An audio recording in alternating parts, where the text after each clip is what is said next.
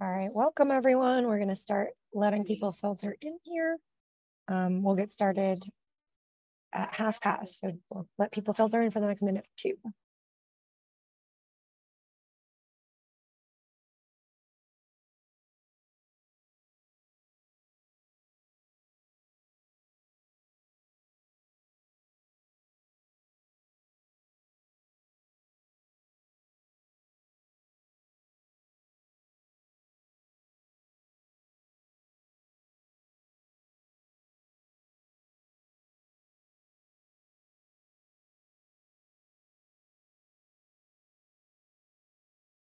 All right, we've got folks filtering in, um, still filtering in, but we're gonna get started. We are right at 11:30 Pacific, 12:30 Mountain.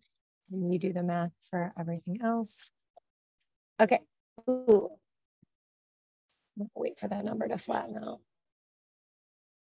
Okay, all right, everyone, welcome. Welcome to the Rainbow Ecoscience Plant Healthcare webinar series.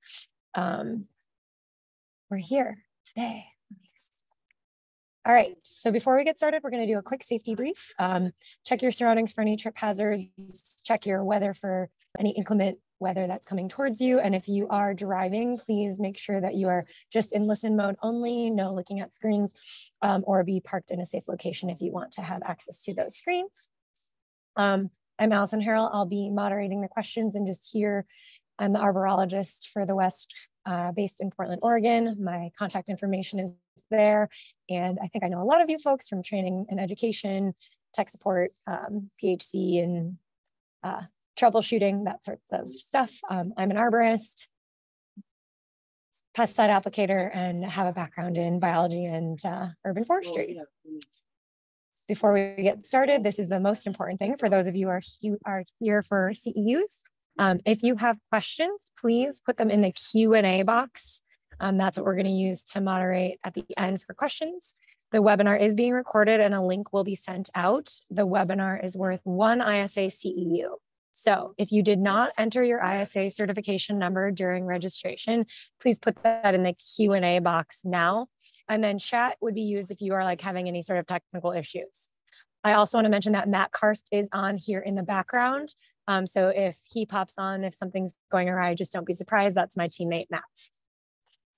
All right, so without further ado, we will get on to um, the presentation. So we have Dr. Seth Davis. Welcome and thank you for being here with us. He's going to be talking about life cycles, ecology, diagnostics, and management of common scale insects. And he is based in the Front Range, though there will be a couple of other scales that are uh, applicable to the West, and the scale biology is applicable to the entire coast or country, sorry, the entire country, because um, basic scale scale biology is uh, prevalent throughout the, the entirety of the world, really. So he is an assistant professor of forest entomology at Colorado State University. He's the PI of forest health at Colorado State, specializes in insect chemical, microbial, and behavioral ecology. He has his BS, MS, and PhD from Northern Arizona University, and his current interests are in vector biology, plant chemical uh, phenotypes, bark beetle symbiosis, pollinator biodiversity. Um, he's involved with a variety of basic applied research projects, extension activities, as well as consulting with government and private industry professionals. Um, and I think we are also welcoming uh, several of Seth Davis's, Dr. Seth Davis's students. So welcome uh, here as well. And go ahead and take the screen now. Great, thanks, Allison. Um, let's see now if I can get it right this time. Okay. Okay, is my uh, my presentation up correctly here? Good. Presentation is up, looks good, and your volume is good. Okay, great. Thank you. Yeah, no problem. Thanks for the introduction. Uh, associate professor now, but I have, you know, I have so little but my title, so I'll like throw that in there. Um, yeah, I'll be talking about the common scale insects in the Western US and um, a variety of aspects related to their biology, life cycle, and control in the hopes that it will help you all uh, to better recognize scale insects and to do a better job at managing them when you see them. So um, let's get started. Okay. Okay, good. So outline of the talk, uh, we'll talk about the basic taxonomy and ecology and the life cycle of scales, just so you understand what they're doing. Uh, some of the common scale pest insects in my region, although the ones that I'm going to be talking about, the three examples that I'll give are also very common throughout the Western United States uh, and throughout the Four Corners states, but they're um, sort of big issues in Colorado as well. And then we'll talk about some of the basic uh, options for scale control, including things like natural control, biological control, chemical control, and, uh, and cultural controls. So what is a scale insect? Uh, these are herbivorous, plant-feeding, uh, sap-sucking insects in the order of the, tr the true bugs, the hemipterans. So that is a very biodiverse group and contains about 50 to 80,000 species, depending on uh, who you ask and what day it is. These scales are closely related to a variety of other plant pests, including aphids, uh, phylloxera, uh, plant hoppers, and, and others. So this group, the Coccoidea, which is where the scales are taxonomically, uh, first arose about 50 million years ago during the Triassic period. So, um, as far as insects go, they're relatively new in the sense that uh, insects first evolved about 330 million years ago. So, um, here's the position of the Coccoidea and their relation to a couple of other closely related um, taxa in the Sternorrhyncha clade. So Sternorrhyncha, this is a picture of an aphid, not a scale, but actually refers to the, the rearward facing position of the mouth parts relative to the head. So rather than the feeding stylet facing straight out, it actually faces backwards, which has uh, some, some bearing on their feeding behavior. And we'll talk about that a little bit later. So true bugs, including the scales and hemipterans, are, are hemimetabolous, and that means that they don't go through complete metamorphosis. So here's an example of what that looks like. So scales uh, are born from eggs and then go through a series of nymphal instars. So in each successive molt, the body just grows larger, but they don't actually go through this pupal stage to completely change um, uh, life form from caterpillar to adult, for example, is with uh, holometabolous. So scales have a number of uh, larval instars. It differs between males and females, and you'll see why that is uh, before very long. But the stage we're going to talk about first is this crawler stage. So that's the first uh, nymphal stage after hatching. And what's important about this crawler stage is it's the primary time that scales are uh, dispersing within the body of their host plant. So, for the vast majority of their life cycle, they're relatively immobile, if not completely immobile. Um, and here you can see the crawlers dispersing along a branch along next to uh, an adult oyster shell scale. And they're extremely tiny at this stage and difficult to see. Um, but this is a very important stage for control because it's when they're the most vulnerable to a number of uh, predators um, as well as chemical controls. And oftentimes adults can be relatively resistant. Here's another example of a whole bunch of life stages all present on a single leaf from adults uh, to crawlers to eggs, all sort of overlapping in space and time on the body of the host plant. So these crawlers are one, one of the things that we're going to be concerned with sampling uh, and monitoring for knowing when these crawler stages are occurring and then applying the correct control applications when the crawlers are actually present. Uh, so again, just a brief recap of uh, their basic life cycle, essentially um, just going through a set of nymphal instars. Females typically have three instars from egg to sexual maturity. Males typically have five, and that's because for uh, a variety of scale species, the males may be the more mobile sex uh, and so can become either winged adults and fly away, which takes a little bit longer to develop, or they're sessile and feed on the body of the host plant uh, as well. So we'll look at that in a moment. Um, so as far as the diversity of sap-sucking insects goes, Coccoidea and the scales are one of the most abundant variable groups in with this life history.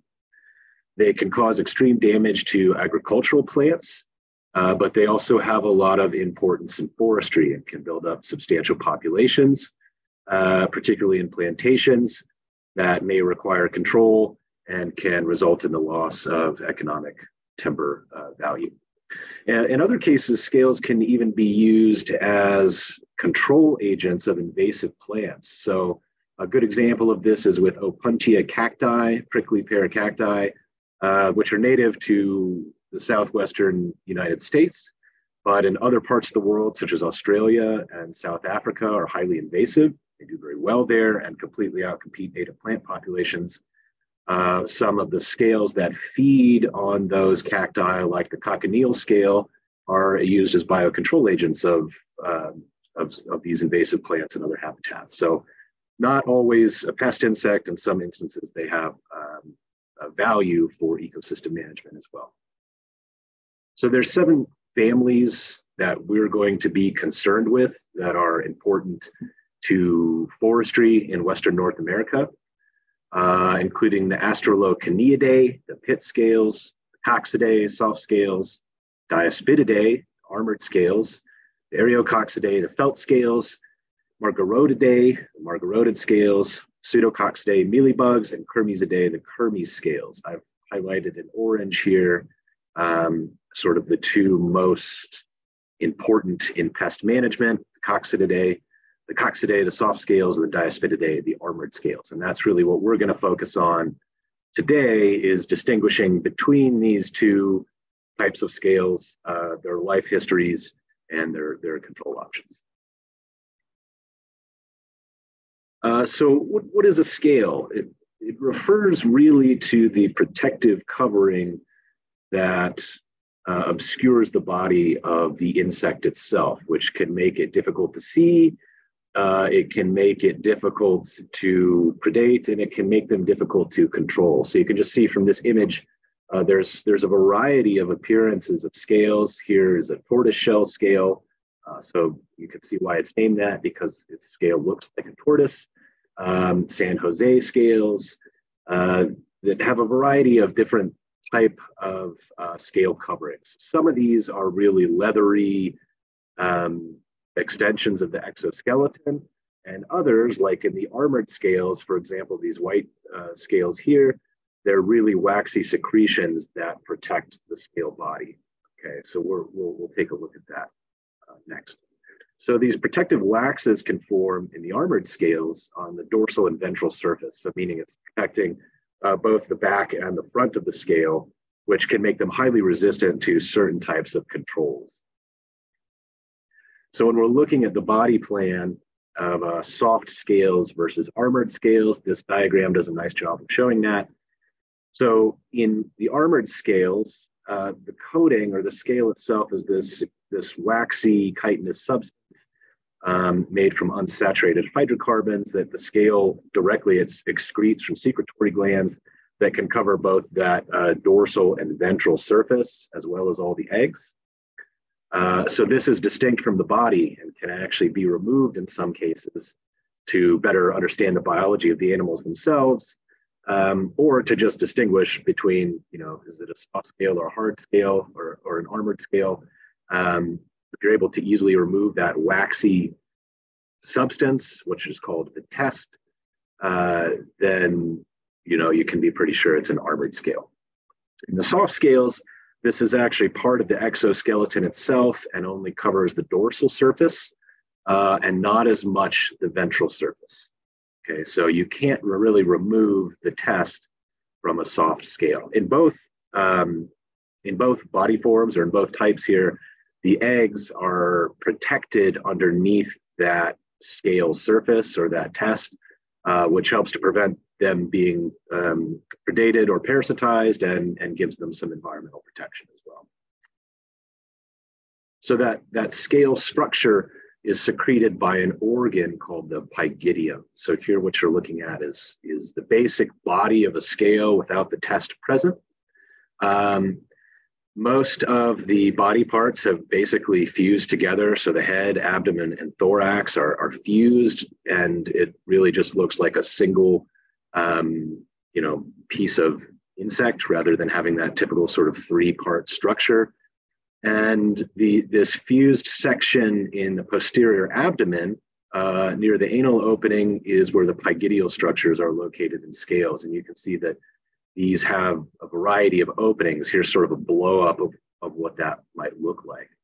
And there's uh, lobes and secretory vessels in there that move waxy substances through microtubules and macroducts to um, cover the body of the insect or pr- provide a, tecti- a, protective flap where uh, eggs and, and such will be located.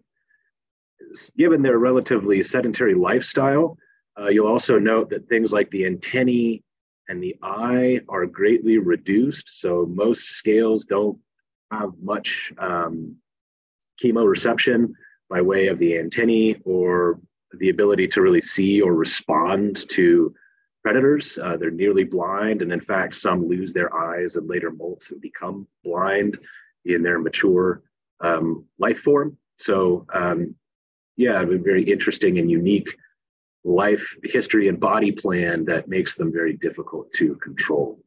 So again, the, the structure that's responsible producing that waxy secretion is called the pygidium. So when we're talking about armored scales and soft scales, um, are several body forms that can be present in the armored scales. So they can be elongate, such as seen here with the oyster shell scale, where they're sort of long and narrow, or almost perfectly circular. So as you can see in this example, uh, the soft scales tend to be more ovoid. And again, the underside of the body is not protected by this waxy excretion. So they, you can also distinguish between the two types, the armored scales and the soft scales, based on just this outward physical appearance. Uh, armored scales tend to produce almost exclusively sexually. So the typical female in her lifetime will produce, um, you know, a dozen to a hundred eggs or so, but typically not more than that. Uh, soft scales can be both sexual or parthenogenetic, meaning they can be clonal under some conditions. So uh, a female can produce an extreme amount of eggs, uh, hundreds to even thousands, or she can give birth to hundreds of um, to hundreds of offspring viviparously. So uh, that can create just enormous population growth rates in some conditions, uh, making them maybe even more difficult to control than uh, the armored scales, just because of their ability to completely take over a host plant. Uh, armored scales are primarily immobile, so during that crawler stage, they, they can disperse around the body of the host plants, whereas soft scales, uh, which don't have that ventral covering of the test, can remain somewhat mobile for most of their, their lives. So as, um, as crawlers, they're probably the most mobile, but then as adults, they can still migrate between different plant organs, um, moving between foliage and twigs or nodes as, as needed um, to, to improve feeding conditions. Here's just an example of that uh, soft scale crawler from a SEM micrograph. So um, yeah, you can see that the legs are still visible, uh, whereas that's completely obscured for the armored scales. Uh, other differences uh, have to do with their life cycles. So soft scales um, are typically producing offspring twice a year. They may have two generations per year with crawlers present um, either in late spring and early summer. So you can see you know, two instances of, of, re, of reproductive um, flushes. And then for armored scales, usually there's only one generation per year, though in a lot of places there are also two generations per year. But it's more typical for the soft scales to have more generations per year than the armored scales. So let's talk about their development briefly. And here you can see females and males hatching from an egg. Uh, females, after the crawler stage, will begin to develop their protective um, covers almost immediately. By the second instar, that flap uh, protected the, for protecting egg structures can be quite large. And then by the third um, instar, you know, that's more, that development's more or less completed. and she will retain essentially identical morphology, uh, other than growing a little bit larger in size between her immature and sexually mature stages. So they don't really change very much. Um, females tend to, to be quite similar throughout their, their life cycle. Males, on the other hand, um, oh, I guess we'll come to males in a second. Uh, here's an example of, of what might be underneath that test flap this uh, drawing. And then, of course, if you remove the flap in an armored scale, it should be full of eggs. So here, this is a female pine needle scale that has 20 to 30 eggs underneath that waxy secretion, showing the dorsal and the ventral surface. Uh, males, on the other hand, uh, can sort of go one of two ways after uh, they develop as first larvae, uh, first instar nymphs. So they may either become sessile uh, and simply feed on the body of the plant alongside with the females, or in some instances, they can develop into a pre-pupal stage uh, where they essentially form wings and then disperse to mate with females on other plants. So males typically in scale populations are infrequent, and you really only see these winged morphs um, at certain times of the year when dispersal is is uh, important. So, um, in also under instances of high competition, um, you may see the development of, of winged males to disperse and form new colonies. So let's talk about uh, the feeding of scales as well. So similar to other insects in the Hemiptera, uh, like aphids and whiteflies, scales have piercing, sucking mouth parts. And, and this is an example of what that looks like for an aphid, where um, the mouth parts are encased in these long, narrow uh, mandibular structures, and the maxilla are long, narrow muscles uh, protected within a sheath. And then they'll often pump salivary products into the plant in order to bypass some of the defenses uh, and produce some predigestion and help with the movement of plant fluids into uh, the insect body. And then that will occur through two different canals in, in the stylet. Uh, so let's just look at the, the ultrastructure of the stylet, stylet briefly. So here's an example of a stylet. Um, that came up. And, and if you look at a cross section of that, you can see a couple of structures. Here's the feeding canal where the plant um, material would move into the body of the insect. The salivary canal where the insect would be pumping uh, salivary proteins into the leaf surface or the bark surface. And then uh, these dendritic canals over on the sides. This is the muscle tissue. These dendritic canals are essentially where the nerves are, which allows the insect to fee, uh, feel the stylet and its movement through the intracellular spaces of the plant tissues. So, like aphids and uh, other phloem feeders, soft scales um, uh, feed on the phloem by actually moving their stylet through the intracellular space of the sclerenchyma. So that allows them to bypass uh, a lot of plant defenses and feed directly on some of the most nutritious parts of the plant where all the photosynthate is contained. In contrast, the armored scales actually feed at the interface of xylem and phloem, um, typically in the cambial layer. So we'll, we'll take a look at that in just a minute as well. So the feeding of soft scales uh, often results in the excretion of honeydew.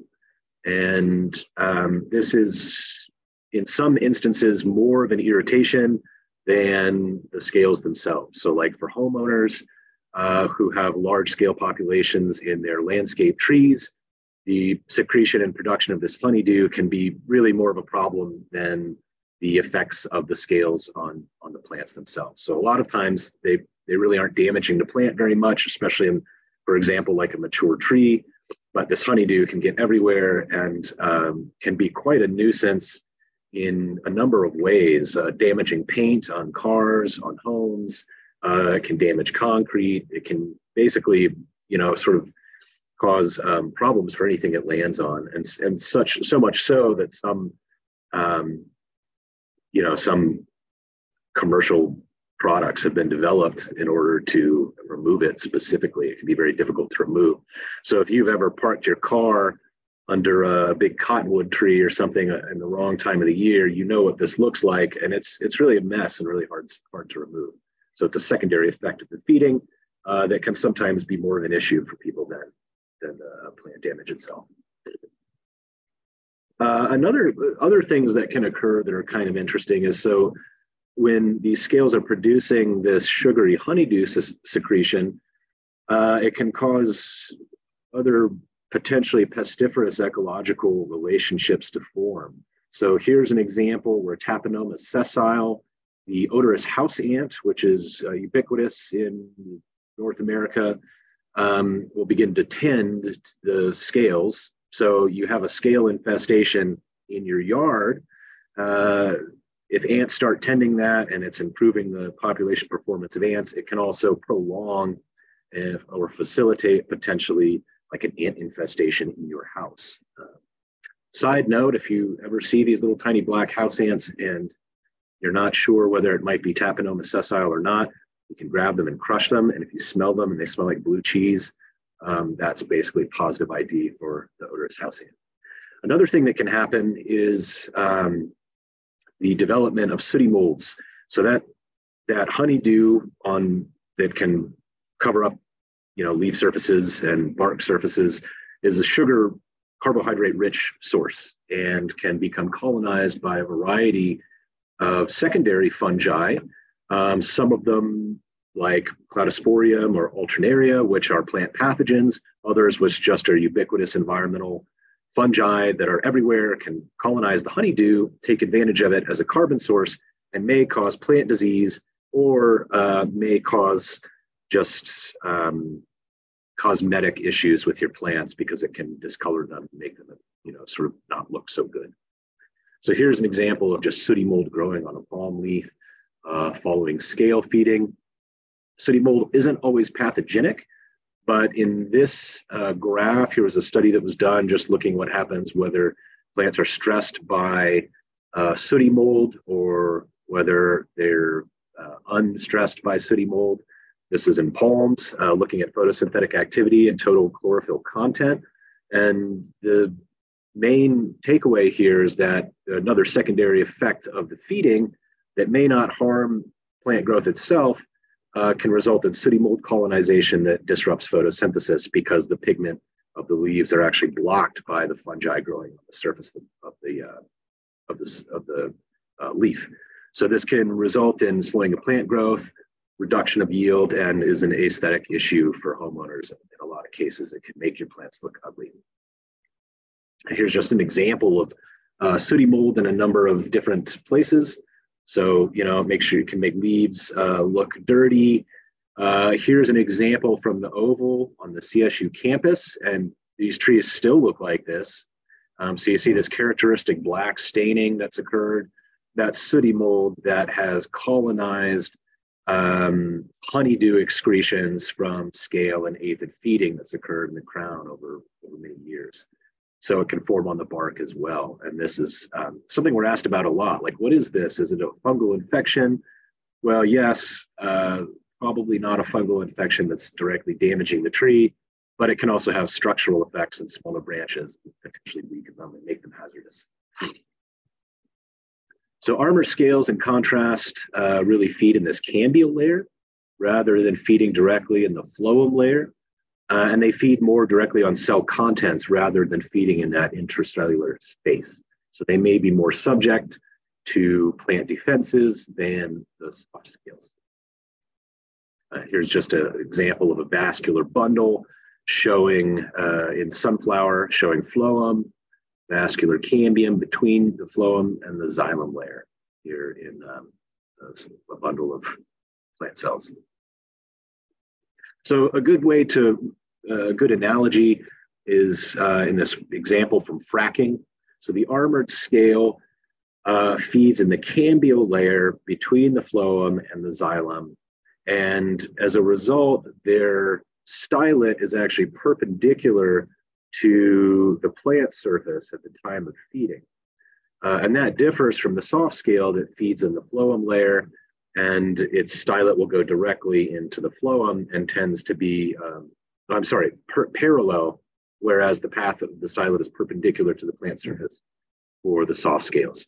So another difference just in their feeding habit, uh, something you're not going to be able to detect with the naked eye, but it has differential effects on um, on on plant uh, growth as well. And you can see since this phloem layer tends to be where all the carbohydrate and photosynthate is, that, that that's why the soft scales are more of a pest in terms of producing um, honeydew and the, the secondary effects of that. So let's just briefly review what are some of the differences between the armored scale, the armored scales and soft scales. Well, uh, the body covering differs, where for the soft scale, it's an exoskeleton. For the armored scale, it's a waxy covering called a test. Uh, they differ some in size. So the soft scales tend to be relatively large, greater than an eighth of an inch in size, whereas the armored scales are either elongate or perfectly circular, and they're very small, usually um, less than an eighth of an inch. So really, really tiny.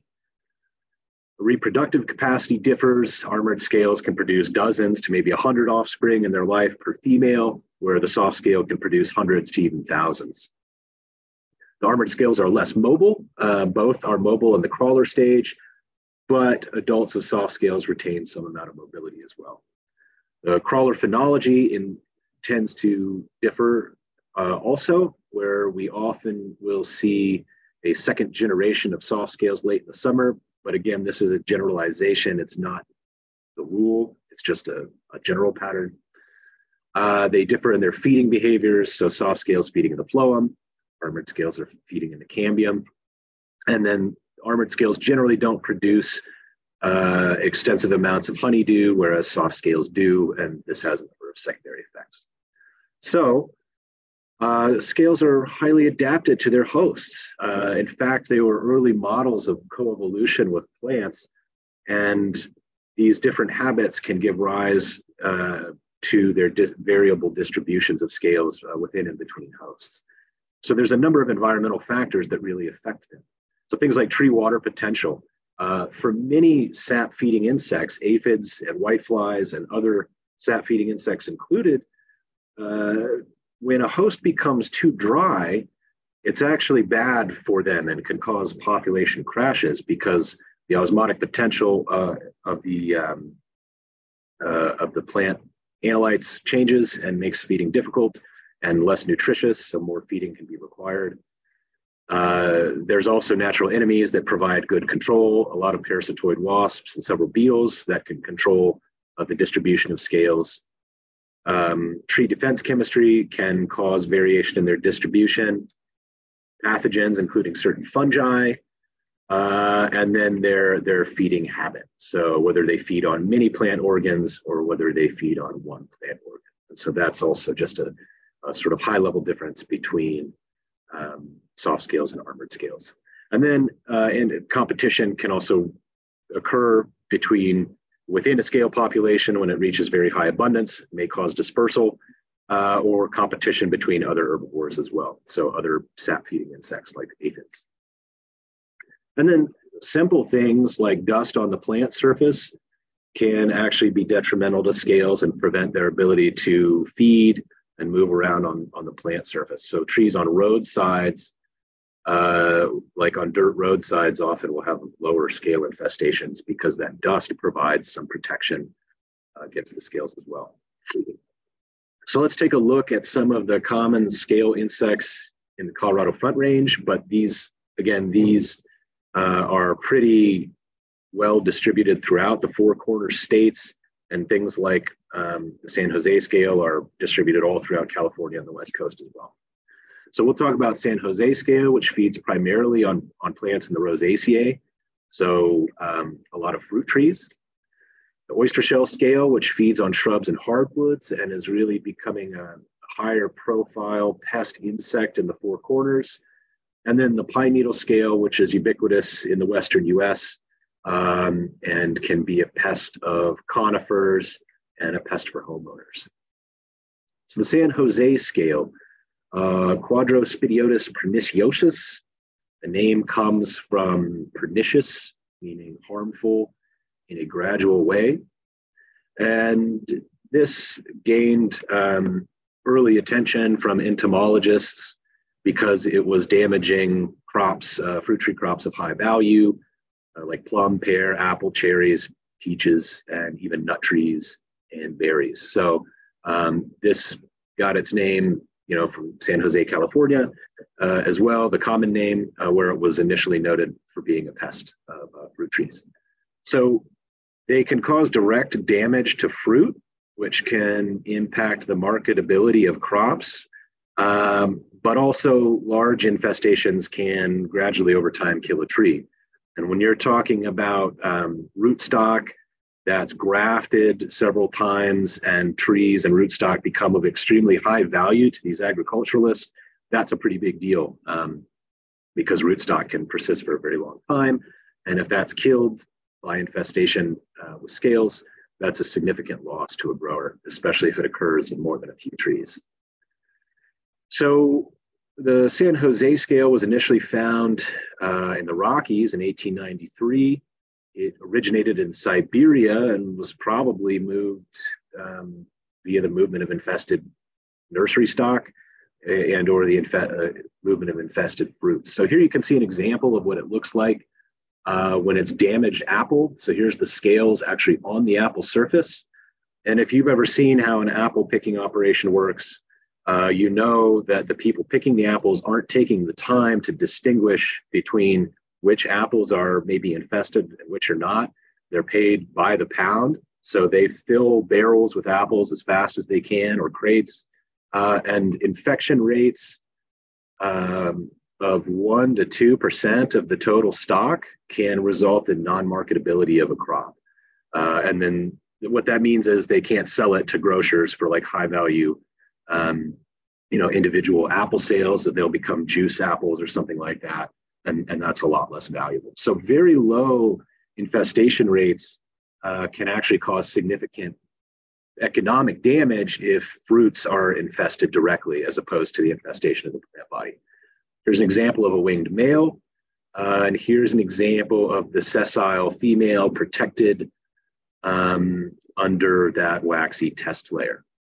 So the adult uh, female and male are yellow, but the here's the female. You can see she her yellow body kind of in the middle, and the rest is is covered um, by the test, which is dark gray. So this is a fairly distinctive appearance for a scale.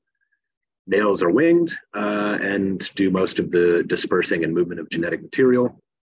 And one of the challenges with the San Jose scale is that it can infest up to 200 species of tree or shrub and can feed on a wide variety of plant parts, including fruits, trunks, barks, leaves, twigs, whatever.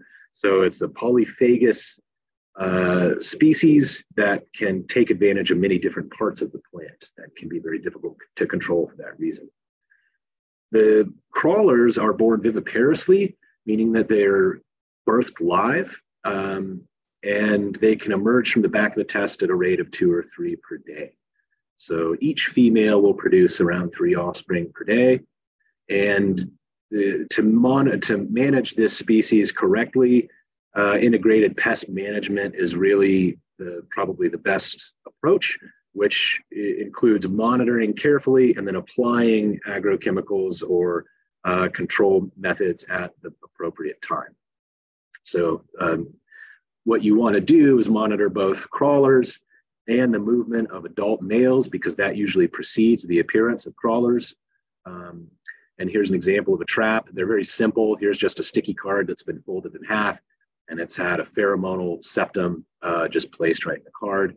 And these will be placed at a density of, you know, on an orchard scale, uh, maybe every couple of meters to get really adequate coverage for monitoring the movement of males. Um, so you may have a 50 to 100 or more in an orchard if really intense monitoring is is uh, needed. Luckily, the, the materials are fairly cheap, so the sticky cards or sticky traps are about $1 a piece. And there's a number of retailers where you can buy these loaded uh, septa that contain um, these two pheromones which are attractive to the adult males, and they're a couple of bucks a piece. So one could ostensibly do a pretty intensive monitoring um, effort for around three or four hundred dollars. Here's an example of the life cycle. So monitoring really should occur during this entire phase when adults are present. Uh, male flight typically precedes the appearance of new nymphs and new crawlers, and this is when you're going to want to be applying um, uh, any control methods to target the crawlers if possible, since they're the most vulnerable to controls and haven't developed that waxy test as strongly yet. So in Colorado, we can have up to two generations per year, even though I told you earlier that armored scales only have one generation. Uh, they overwinter as black cap nymphs, so they're about one millimeter in size. And unless you really know what you're looking for, the overwintering stages are basically impossible to find. Um, and then as soon as it's above about 50 Fahrenheit, they begin moving, feeding, uh, and developing again. So as a result, a number of biofixes have been developed that help to determine, based on the accumulation of degree days, when specific activities should take place. So if you've had a previous infestation uh, during the dormant phase, it's recommended to apply an insecticide in oil because that can help to um, have long residual lifespan and get through some of that waxy layer. Um, pheromone monitoring should be taking place uh, around 200, around the accumulation of 215 degree days, the early development of apples. Um, and then once males begin to appear, that's when you might want to start thinking about applying targeted um, chemistries for crawlers around, you know, two or 100, 300 degree days after the first crawlers are tap, trapped on sticky tape or after males are trapped. Um, which in a warm summer could be not very long. Uh, that many degree days can be accumulated in just a week or so under the right conditions. So here's uh, a number of high-tech sticky tape traps. Um, the general idea here is that you can monitor for crawlers quite intensively, uh, very cheaply. So using just different colors of sticky tape that's wrapped sticky side out around branches um, you want to match the color of the tape that you choose to the color of the moving crawlers. So in the example of the San Jose scale, where they're like yellow uh, or white as crawlers, as black tape is probably the most effective. Um, but here's an example with clear tape and white tape. So you just want to choose the color of tape that you're using uh, to reflect high visibility um, compared to the crawler stage. So you get the idea that this is something for a couple of dollars you can put hundreds of these out and do very intensive monitoring if any of your clients are are you know having commercial growing operations uh, and that's probably the recommended first step for control is to just know where they are and when they're active and then to be able to apply control methods at the right time. Okay let's move on to the oyster shell scale. This is quickly becoming a, a very notable pest in Colorado uh, and in the Intermountain West because it really does a great job of infesting aspen trees, which are iconic in this region. And, uh, you know, people love aspen trees for the fall colors. And they are bothered uh, when trees become heavily infested by the oyster shell scale. So you can see why it's named that. Uh, it, its appearance is somewhat like a, a oyster shell and it, has a number of common regional hosts like aspen, any hardwood, um, but it really likes aspen, alder, dogwood, and willows. So this has been nativized to the United States. It's about the 1700s. They're very small, two to three millimeters in size, and heavy infestation can impart a, a strange appearance to the surface of bark. We'll, we'll look at that in just a minute, because a lot of times people find these infestations, they don't really realize what they're looking at. So here's uh, branches that are completely encrusted by the oyster shell scale. And uh, uh, a lot of times it's they think this is a fungal infection, but it's actually insects. So if you see something strange like this, take a close look. Um, they can even remain firmly attached after the branches died. So that sort of highlights how immobile they are. Here's an example near Georgetown, Colorado, of some trees that have become heavily infested with oyster shell scale. So though, in addition to the direct effects of plant damage uh, and loss of photosynthate. uh, you can see discoloring of the bark and cracking, which can be unsightly and also create an entry court for secondary fungal infections, which can be pathogenic. Okay, let's talk about the pine needle scale. Um, here's a close-up view. So they have several stages present and they're a little bit bigger, three millimeters, and that with that test can reach up to eight millimeters. They're much larger and more obvious on pine needles as compared to the other two that we just looked at. Uh, males are really small and they're almost never present in Western populations. So in Western US, these are pretty much entirely clonal. Uh, here's an example of infestation. Again, often mistaken for fungal infection, but these are actually tiny insects, pine needle scales, uh, Chionaspis pinifoliae, feeding on um, pine needles and spruce needles. They can infest a number of conifers, but are most common uh, really on pines. And they tend to occur in areas where pines are highly stressed, like shelter belt plantings. Um, so mugo pine and some of the other common landscape pine species, um, Austrian pine can be heavily uh, affected. In Colorado, these also have two generations per year. Here's again an example of what they look like with that test pulled back. Um, they overwinter as eggs, and then hatch usually occurs April through June. Um, and the crawlers settle, feeding uh, on, you know, needles, and then actually lose their appendages and their eyes, and later molt. So as adults, they're functionally blind. Uh, and you tend to find localized infestations. Okay. In extreme situations, so they don't usually kill trees or damage them that badly, but they're visually obvious. Um, extreme infestations can result in flagging, branch dieback, um, and, and mortality in some conditions, but it's usually associated with tree stress. So there's a number of uh, methods to control scales, and a program should consider things like natural controls, so what predators and parasitoids are present, uh, biological controls, cultural controls, chemical controls, and, and, so on. So we'll go through those quickly. So natural controls uh, include a number of coccinellid beetles. They're very small beetles, so they're easy to overlook. Um, and then predated scales can actually be seen through these little holes in the test. So they'll feed through that and eat the eggs and sometimes eat the adult as well. So here's an example of a chilochorid uh, feeding on a, on a scale. So here's a couple of the good guys uh, little tiny black beetles that range from two to four millimeters in size. Ants, as I mentioned earlier, might be something that you need to consider controlling also in conditions where there's a very large scale outbreak, uh, because ants will prevent these natural enemies from feeding on the scales and can be a secondary pest themselves. So, um, prior to initiating chemical controls, it's important to look for these natural controls. Parasitic wasps are extremely important control agents. And there's a number of species that are commercially available. I'll show you one in just a minute um, for a variety of pricings. So the important taxa are Aphytis malinus, which you can buy commercially quite cheaply. Coccophagus, meaning they eat coccids or coccozoids like the, uh, like the scales, and Metaphycus. Uh, you need to have these present for some time if you're hoping to control an outbreak. But usually uh, natural populations can will occur and are sufficient for natural control without the application of any chemicals. So you can also um, see evidence of uh, parasitoids and parasitism by these holes that will occur in the test, nice round holes where the adults emerge.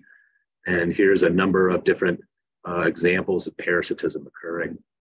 Uh, Aphytis malinus, this nice, pretty yellow parasitoid here, is uh, available um, commercially. So we'll look at that in just a moment. And again, you want to go out and look if you notice a scale infestation for evidence of natural enemy colonization. If a lot of scales are showing uh, damaged tests like this with holes um, that are either suggestive of the presence of high predator populations or high parasitoid populations, additional control options may not be needed. Here's an example of what you get if you try to buy Aphytis malinus, um, about 20 bucks, you can get this tuna can of tuna fish that's got 5,000 uh, little larvae in it um, that you can just sprinkle around an infestation area. And you can even buy a, a subscription if you need lots of this stuff over time. Other Biological controls include things like um, fungal pathogens, Beauveria bassiana is somewhat promising. This works well on soft bodied scales because um, you can apply this stuff to the plant surface in a, in a drench or a spray. Um, it really won't work on armored scales because the test is just too protective. So here's an example of application on armored scales. You see if the test is left intact, there's essentially uh, no efficacy. If the test is removed uh, or lifted, then there is some effectiveness, but this is uh, really recommended only for soft bodied scales. And once they become uh, infested, the infection within the population will, will uh, proliferate somewhat naturally. Cultural control is also uh, promising for um, cosmetic infestations. So, you know, here's an example of an aspen tree in a yard that's covered in oyster shell scale. Again, from scale, from backed out a little bit, it's hard to tell what's going on here. So you have to take a really close look to notice them. But things like standard um, dish scrubbers or a stiff brush can work well to just remove them by brushing in a small scale or localized infestation.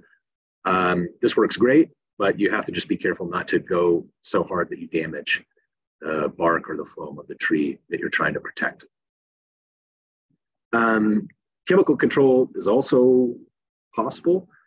There's a number of options, but we need to consider some basic principles um, before applying chemical controls. So the first is going to be timing. Again, that's where monitoring comes in, using those sticky traps, using those pheromone traps to ensure that you're hitting them with whatever chemical application you want to use at the crawler stage. Otherwise, you're going to possibly have off-target effects. Uh, and off-target effects can extend beyond just natural controls. So we may impact natural enemies like those um, beetles or parasitoids with off-targets, which we don't want to do. Um, but also other beneficials, you know, if you're spraying the crown of a tree, you, you know, you may impact pollinators or, or other insects of uh, conservation concern. So improper use and improper timing um, can result in substantial off-target effects. That's a principle we need to be careful to consider. The other thing is resistance. So um, things like neonicotinoids in particular uh, can cause resistance to occur in a variety of scale insects. And once the resistance forms in a population, um, they pretty well stay resistant and integrated control using carefully timed applications essentially becomes impossible. So um, over application or incorrect application can lead to worse problems than you had before. And then specificity. So some things will work well on armored scales, some will work well on soft bodied scales, some on both. But if you imply, you know, if you try to apply Beauveria, Botanigard uh, to control armored scales, it's not going to be effective. So you have to understand those subtle differences in biology in order to choose the right uh, control method. So let's just take a look at, at a few of those. Um, here I've, I've got a couple of different products listed, some notes and what they're effective against. So many things will be uh, effective against both armored and soft scales. Neonics really aren't recommended, um, but they can work against soft scales. The dinotefuran is probably um, one of the ones that I would recommend, as well as the pyriproxyfen mainly because soil application is going to allow you to avoid a lot of off-target effects. But again, as a neonic, uh, you could have some problems. Pyriproxyfen is nice because it doesn't tend to impact those natural enemies that we're concerned about um, managing for control. Okay, so there's a number of things that will work. I, um, you know, any of these will be okay, but things with long residual contact times and high toxicity uh, you want to avoid. So I'm about to show you a graph um, which basically says that bifenthrin isn't something you should really use. So some studies were done uh, to look at these different chemistries and their effects on off targets or um, control of selected armored soft scales. So at the top, in this top panel, you're looking at the effects of those chemistries on the abundance of parasitoids, on the abundance of predators. Uh, bifenthrin knocked back the predators uh, and parasitoids quite a bit. Uh, particularly, the parasitoids were really heavily affected by the bifenthrin. Uh, the, the predators, the beetles, didn't care as much and were more resistant. um, to, to all of these applications. But in general, the dinotefuran gave the highest overall yield of predators or reduced or parasitoids, reduced parasitoids the least, and didn't have an effect on predators. So um, that would be one of the ones I would probably like to see, um, or the pyriproxyfen. So poultry sprays uh, aren't generally recommended because they produce surface residues, which can then end up in the soil as um, leaves or foliage are lost. You know, even conifers will lose third and fifth year needles. Um, this also often results in the destruction of natural enemies and high off target effects. So, whenever possible, treatment should really be limited uh, to the lower area of the trunk bark to minimize those impacts on natural enemies. Here's just an example of what that type of spray uh, might look like. So again, eliminating it to the lower bark when possible and utilizing natural controls, uh, cultural controls and high monitoring ahead of the need for chemical applications uh, will help you maintain a more sustainable system, more sustainable method of pest management. Uh, so with that, I'll stop. Uh, here's some additional resources that will be available um, that will be available to follow up with from the presentation. And if we have time, I'll, uh, I'll take a few questions. Thanks. Thanks, Dr. Davis. Um, I appreciate your knowledge as always, and you always have the best photos. Um, a couple of just quick comments. I know we've got a lot of arborists on the call, so um, some of the stuff utilizing, I think we're doing a better job utilizing some of our more eco-friendly products that are out there, kind of getting some of the biocontrols as part of our, our systems, which is really great. Um, and definitely a quick mention on the pyriproxyfen is great. We see really good result on um, utilizing that product so we're not damaging the beneficials. We're being really mindful of our pollinators, you know, an opportunity that we sometimes do have to lean on away, but um, really efficacious. And then the one thing to note too is we haven't seen a ton of resistance um, but there's been a couple of cases here and there. So, okay, so a couple questions coming through. One, uh, to submit your arborist credit to get to use, you need to type your name and your essay number into the Q&A if you did not do it when you signed up. If you already signed up and did that, you don't need to do it again. So um, that is done. Um, Alrighty, so questions coming in for you. Uh, one, if dry conditions are bad for scale populations, should you advise homeowners to stop irrigation until you gain control of the infestation. I think we'd want to add irrigation. Yeah, that, that's an interesting point. Um, I would generally not recommend ceasing irrigation. Um, you know, that's gonna the dehydration and drought stress is probably going to result in more plant damage than the feeding itself. Um, scale feeding most of the time on mature trees is not really going to harm the tree that much uh, unless you're managing you know a, a, an apple orchard or unless that uh, uh, honeydew is really becoming a significant secondary problem. So typically i wouldn't recommend uh, ceasing irrigation yeah, I would say, uh, yeah, just to piggyback. Sorry, not to take your Q and A, but um, if drought is a concern, that's only going to make the exacerbate the situation. So you want to make sure that you're managing the cultural side of things, because a lot of times scales in the ornamental world come in as a secondary thing anyway. And we do see really bad outbreaks that do actually kill, you know, pretty big branches on trees if we let them get bad enough. So definitely try to mitigate. Okay, uh, another question is I've heard drone traps can actually bring in more pests and should only be used for monitoring, but not for control. Is that true for scale? Or do you have any comments on that? Yeah, I do have comments on that. So that that is true under for very specific types of insects. So things like uh, bark beetles, which have highly effective pheromones as well, can bring in enough insects that they may be getting attacking uh, trees around the trap, called the halo effect. That's not something you want to see. Um, for scales, those pheromones are so highly evolved that really not many other things other than predators and parasitoids, which eavesdrop on those pheromones, uh, will pick up on. So I wouldn't be concerned about that for scales or most agricultural pests. It's more the forestry pests that have general um, uh, have more general pheromones that are a concern. So things like bark beetles. Cool. All right. Do you know the pine tree that is frosted in appearance and can accidentally be identified as? I don't. Uh, my guess is that's some that weird, weird varietal. Meaning-